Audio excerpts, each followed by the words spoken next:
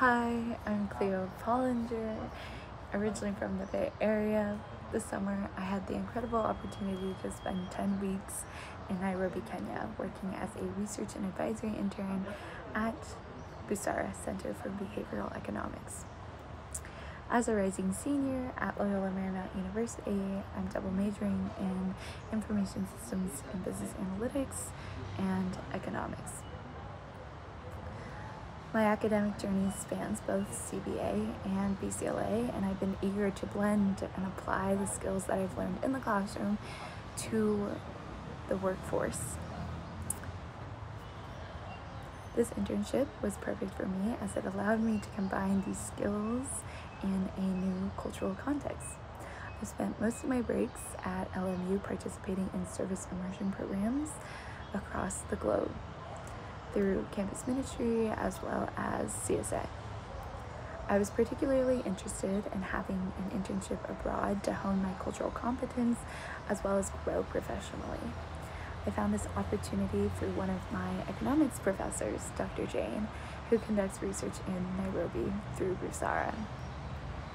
She helped facilitate the connection between me and Busara, and with the support of CBA's Center for International Business Education, I was able to come to Nairobi, Kenya.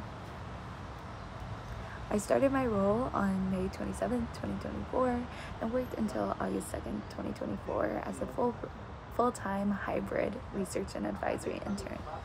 My key roles and responsibilities included support supporting research design and development, implementing qualitative and quantitative behavioral research, developing and piloting instruments, managing large-scale field and lab projects with assistance, organizing and cleaning data, supporting the dissemination of results, and engaging in internal projects.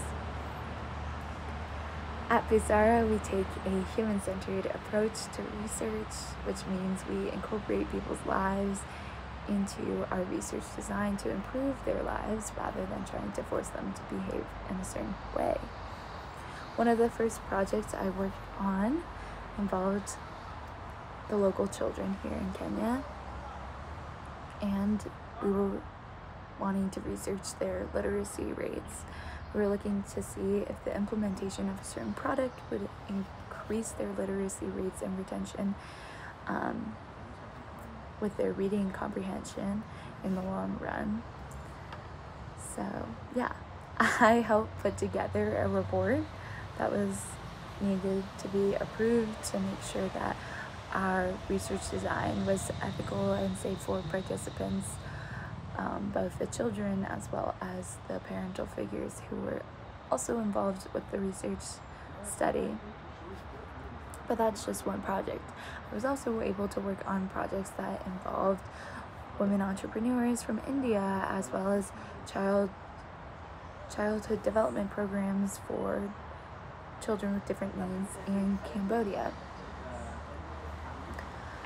So through this, I was able to also produce a case study that was about childhood education content in Nairobi and to see whether or not the implementation of watching these videos would help increase their educational career or help them um, better with childhood retention or education educational retention of content. Um, so yeah one of the highlights of my internship was the diversity in the workplace. We had a cohort of 12 interns from universities across the US, but I was the only American intern. All the other interns were international students, so I was able to talk to locals as well as talk to international students about living abroad, uh, cultural norms, and life in the US.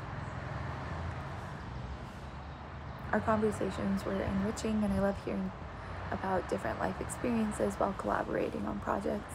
Working at Busara has been one of the most diverse experiences I've ever had, and it's something that I value greatly in my professional journey. I've gained invaluable social and emotional intelligence from working at Busara, and I hope to carry these insights into my future career. Each person I've interacted with has brought something unique to the table. Busara truly emphasizes the value of everyone's unique perspective and knowledge, allowing us to capitalize on each other's strengths as we work together to better understand and represent behaviors of the global south. Thank you.